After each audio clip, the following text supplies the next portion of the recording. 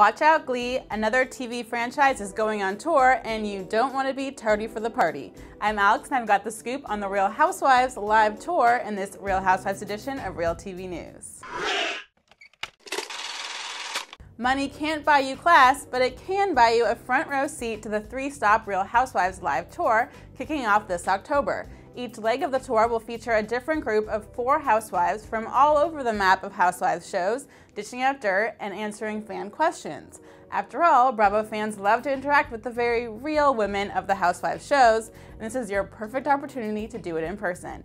Tickets range from $50 for the crappiest seats in the house to a whopping $170 for the full red carpet package, including a cocktail reception with the wives. Check out Sidereel's Twitter page for the full tour lineup, and don't forget to weigh in. Would you pay to see Carolyn Manzo, Jill Zarin, and NeNe Leakes in person? Sound off in the comments, and I'll see you next time.